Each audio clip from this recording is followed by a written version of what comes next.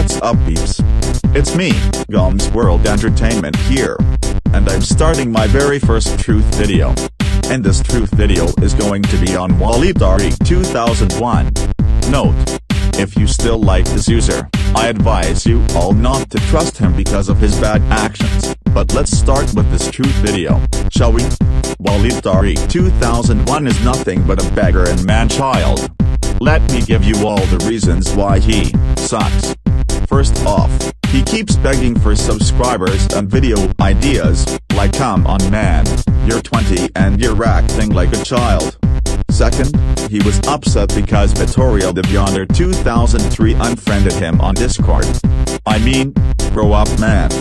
Third, he's a stalker and Emmanuel Thomas 2.0. Why?